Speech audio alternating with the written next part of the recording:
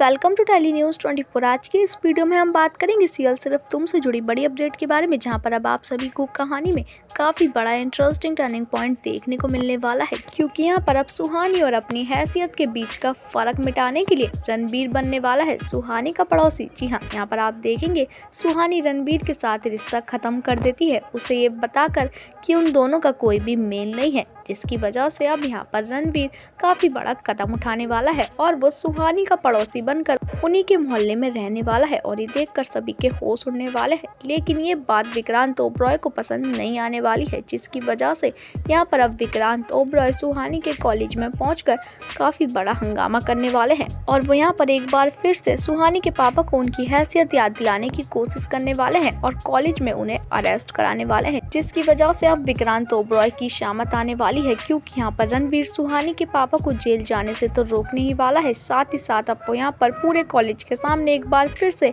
विक्रांत ओब्रॉय को ये धमकी देने वाला है कि जो भी सुहानी को रुलाएगा, वो उसे नहीं छोड़ेगा। अब देखना दिलचस्प होगा क्या करने वाला है रणवीर विक्रांत ओब्रॉय के साथ देखना इंटरेस्टिंग होगा। सीएल सिर्फ़ तुमसे जुड़ा है इसलिए अपडेट पाने के लिए चैनल को सब्सक्राइब करें।